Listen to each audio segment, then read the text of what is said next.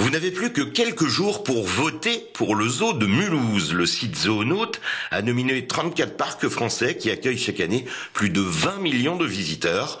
Pour voter pour le seul zoo alsacien en lice, suivez ce